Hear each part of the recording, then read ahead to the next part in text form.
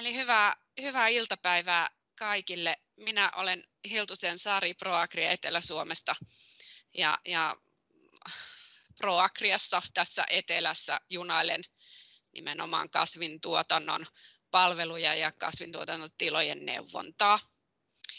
Ja tosiaan niin, niin tässä yhteydessä äh, lyhyesti muistuttelen teitä neuvopalvelujen käytöstä ja, ja niistä mahdollisuuksista ja tilanteista, missä, missä neuvopalveluja voisi sitten kullakin tilalla käyttää. Ää, ja bling. Eli nythän neuvopalvelujen osalta oltiin tuossa vuodenvaihteessa tovi tauolla, mutta tämä järjestelmä aukesi sitten, sitten tuossa tammikuun puolella uudestaan ja, ja tämä Nevo 2020 järjestelmä toimii nyt sitten edelleen vuosina 2021 ja 2022. Eli homma jatkuu ihan samalla tavalla kuin tähänkin asti. Kaiken kaikkiaan neuvopalveluja on käyttänyt noin 40 prosenttia suomalaisista maatiloista tähän mennessä, eli noin 20 300 tilaa on hyödyntänyt tätä, tätä järjestelmää. Ja ihan eniten, kun tässä näette nyt tässä diallakin nämä neuvonnan osa-alueet, alueet, joista neuvontaa voidaan, maksutonta neuvontaa voidaan antaa ja saada, niin, niin eniten on käytetty käytetty nimenomaan tätä maatilojen nykyaikaistaminen ja kilpailukykyneuvontaosioa. Ja nyt sitten kaiken kaikkiaan neuvojia, jotka tätä neuvontaa voi antaa, kellä valtuudet tämän tyyppiseen neuvontaan on, niin heitä on kaikkiaan rekisterissä 870, että et eiköhän sieltä kullekin, kullekin tilalle sopiva neuvoja rekisteristä löydy. Ja tosiaan tässä dialla näette myös, myös tuon linkin, linkin, mistä tämä neuvojarekisteri löytyy ja mistä sitten pääsee, pääsee katsomaan, että, että keneltä neuvontaa, neuvontaa voi sitten tilata. Ja sen jälkeen, kun on, on, on sitten se sopiva neuvoja löytynyt, niin, niin voi huoletta jättää sen byrokraattisen puolen neuvojan haltuun, eli, eli ää, viljelijän itse ei tarvitse siihen byrokratiaan sotkeutua sitä, kun siellä on muutenkin ihan riittävästi. Ja bling. Tässä on kuva, jonka on tarkoitus kertoa, että tämä on niin helppoa ja vaivatonta, vaikka tämä näyttää kyllä nyt kun mä tätä katson tässä, niin, niin aikamoiselta häkkyrältä. Mutta kuten tuossa äsken totesin, niin, niin ää, kun, kun se neuvoja on löytynyt, niin, niin sen jälkeen tämän, tämän häkkyrän voi, voi unohtaa. Mutta tästä näkee myöskin hyvin sen, että minkälaisiin asioihin sitä neuvontaa ja tätä rahaa, rahoitusta voi käyttää. Rahoitusta on käytettävissä tällä hetkellä 15 000 euroa aina sieltä vuoden 2015 ohjelman alusta alkaen. Eli vuoteen 2020 sitä oli siellä se 10 tonni, mutta nyt sitten näille jatkovuosille rahoitusta on saatu, saatu lisää. Ja, ja nyt sitten yhteensä se, mitä siellä on käytetty viisivuotiskautena ja se, mitä nyt käytetään, niin, niin on toi on mahdollista käyttää tuo 15 000 euroa. Ja nyt sitten se, että miten sitä rahaa on siellä tilakohtaisesti käytetty, niin jokainen voi sieltä vipupalvelusta sen katsoa, että, että mikä se oma tilanne tältä osin on. Mutta nyt sitten kun, kun siellä tilalla joku, joku tällainen asia mietityttää, jos puhutaan esimerkiksi tästä, tästä kilpailukyky, ki, kilpailukyky eli kiky-neuvosta, niin, niin siellä voi olla mietinnässä investointi, sen suunnittelun alku voidaan sillä tällä neuvorahalla käynnistää. Voi olla, että sukupolvenvaihdos siellä mietityttää tai tulee ajankohtaiseksi.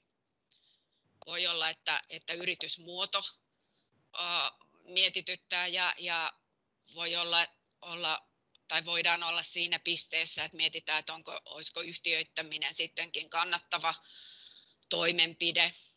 Siihen mietintään tätä rahoitusta voidaan käyttää. Tai sitten jos on tuotantotyystin muuttumassa, ollaan mahdollisesti siihen sitten liittämässä jotakin muuta toimintaa tai sitten siirtymässä esimerkiksi luomutuotantoon jolloin siihen, siihen suunnitteluun ja sitten toisaalta siihen byrokratiaan, mitä, mitä luomuun liittyy tai, ja, ja siihen siirtymiseen liittyy, niin, niin siihen saa tästä järjestelmästä apua. Sitten sen lisäksi niin, niin nyt tässä keväällä ja, ja kun muutenkin viljelyn suunnitteluajankohtaista, niin, niin esimerkiksi kasvinsuojelusuunnittelua voidaan tehdä – tehdä neuvolla. Ja sitten siellä pellolla ja pellon laidalla voidaan miettiä erilaisia asioita. Siellä ehkä kasvukuntoasiat mietityttää. Ei kasva eikä tuota satoa toivotulla tavalla. Voidaan lähteä katsomaan tarkemmin, että mistä se voisi johtua ja, ja mitä siellä sitten voitaisiin tehdä. Ja sitten siellä kotieläinpuolella, niin, niin siellä on monenlaisia asioita liittyen äsken kuultuihin valvonnankin velvoitteisiin. Ja nyt sitten tästä vuoden alussa myöskin tuotantoeläinten hyvinvointisuunnitelmat voidaan laatia tällä neuvorahoituksella. Ja, ja vuonna 2022 niin, niin myöskin, myöskin osana tätä eläinten hyvinvointikorvausta, niin nämä hyvinvointisuunnitelmat voidaan laatia. Eli tämän tyyppisiä asioita. Ja seuraava. Ja nyt sitten tässä joitakin sellaisia esimerkkejä vielä, että mitä, mitä neuvolla voidaan sitten siellä, siellä tiloilla, tiloilla tehdä. Eli, eli näistä äsken tässä jo, jo mainitsinkin tämän, tämän talousneuvon tai, tai kikyneuvon osalta. Voidaan mennä vaikkapa vaikkapa eteenpäin. Ja, ja nyt sitten, jos tässä on edelleenkin esimerkki siitä, että mitä, mitä tässä nyt alkuvuodesta on, on neuvolla tehty, eli, eli on laskettu esimerkiksi kasvintuotannon tuotantokustannusta, pohdittu sitä, että mikä hinta siitä sadosta on saatava, jotta kustannukset peittyy lyhyellä aikavälillä tai sitten pidemmällä tähtäimellä, eli, eli silloin mukana on myöskin kiinteät kustannukset. Nämä on esimerkkejä siitä, siitä mitä mietintää tilojen kanssa on tehty. Ja kun mennään seuraavaan kuvaan, niin ajankohtaista alkaa tässä, tässä todellakin olla nämä, nämä tukiin liittyvät mietinnät.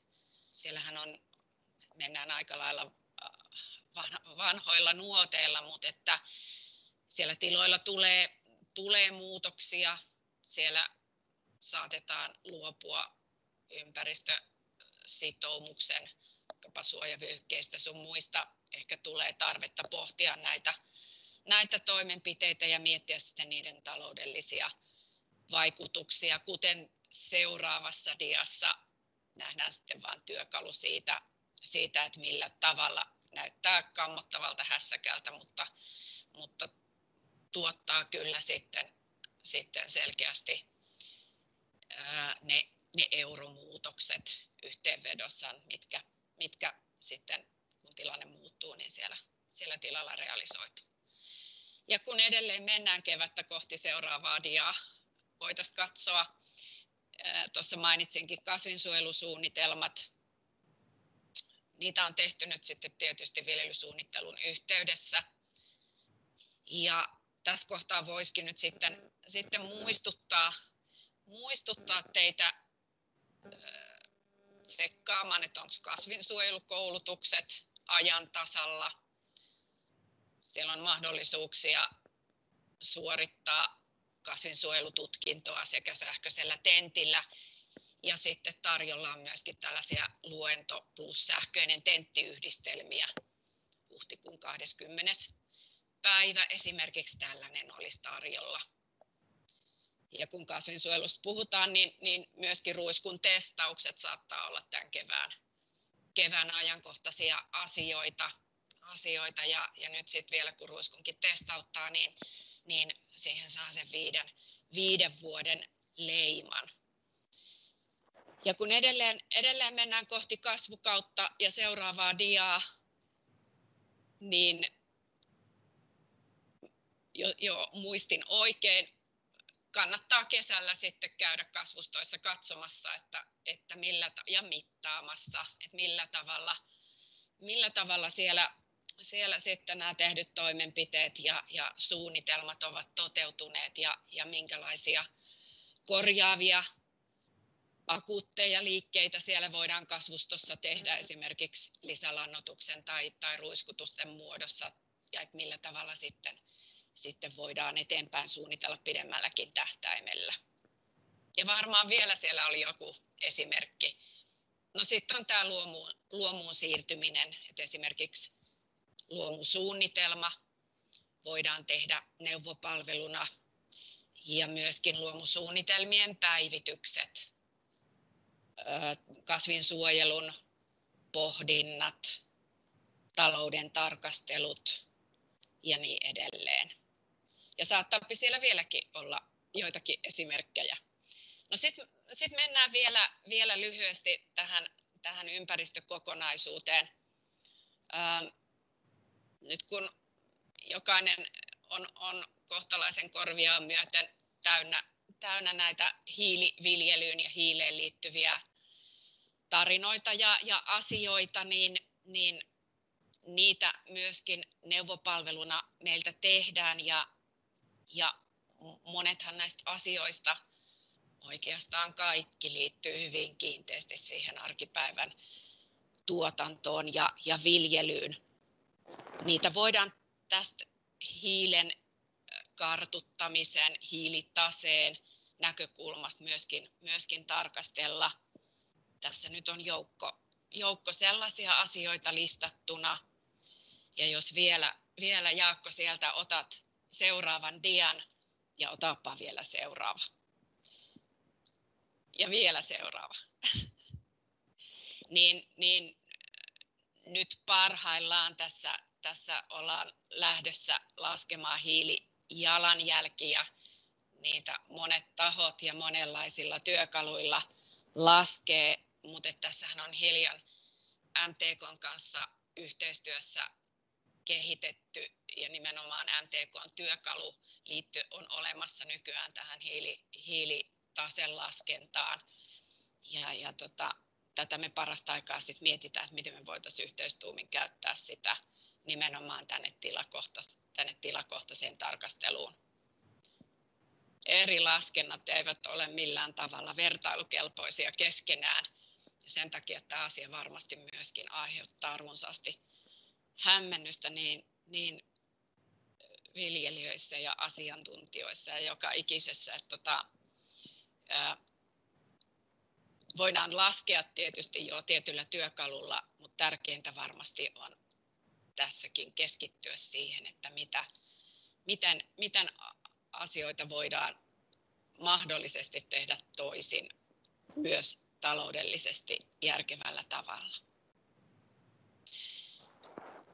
Ja sitten vielä, vielä varmaan siellä viimeisessä diassa niin, niin muistuttelen, muistuttelen siitä, että nyt kun, nyt kun ähm, kohtaamiset on haastavia ja, ja pannassa, niin, niin hyvin paljon on, on erilaista tarjontaa, tarjontaa sitten webinaarien muodossa ja niitä, niitä sitten voi, voi sieltä noukkia itselleen sopivia. Ää, esimerkiksi ProAgria-tapahtumat sivustolta. Samoin myöskin liittyen neuvontaan ja neuvopalveluihin, niin, niin tällä hetkellä me tehdään pitkälti, pitkälti sitä sitä myöskin koronaturvallisesti etänä. Ja, ja se kokemus, mikä meillä on, niin se sujuu oikein hyvin. Tietysti sitten pelloille ja eläinsuojiin, niin niihin, niihin jalkaudutaan, jalkaudutaan, kun terveitä ollaan ja, ja niillä pelisäännöillä, mitkä meillä tällä hetkellä on.